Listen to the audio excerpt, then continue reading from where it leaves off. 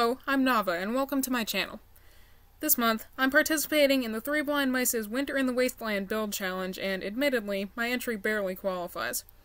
I'm combining an Airfix White M3 half-track kit with half of a Matchbox Jeep Wagoneer.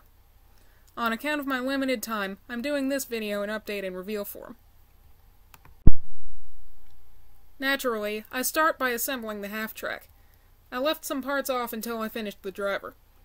Because this person would be working in a frozen wasteland, their basic military gear would never do. I've sculpted them a parka hood and a warm mask. For the Jeep, I opted for a red seat and a blue seat in a light brown interior. Since I cut the casting behind the front doors for a different build, I filled in the roof and missing door jambs with wire. I painted the trim borders light blue to match the half-track. Here are the parts dry fitted before assembly.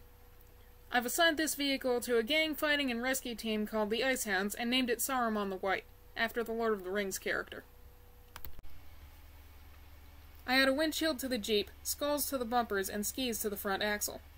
The skis are based on the early Model T snowmobiles that came up in my pre-build research, and the skulls are epoxy copies of the skull from the front of a rigger motor engine.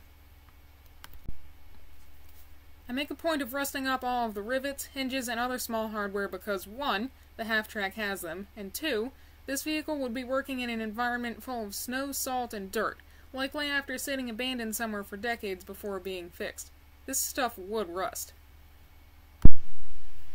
I make a snow paint out of white paint and baking soda.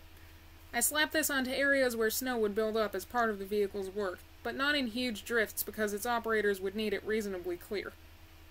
When I'm done with that, I make a tarp for the gunner's hole out of a shopping bag, Paint that blue and add a dirt wash.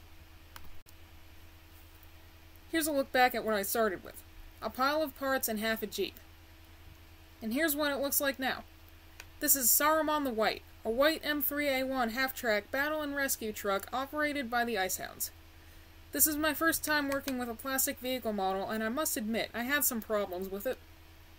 The body panels kept falling apart while I was trying to glue them together, and the exhaust pipe keeps falling off. I'm proud of the result, though, and I hope you like it too. Don't forget to check out the other participants and the recap video on the Three Blind Mice Diecast channel. Until next time, this is Nava Auto saying goodbye.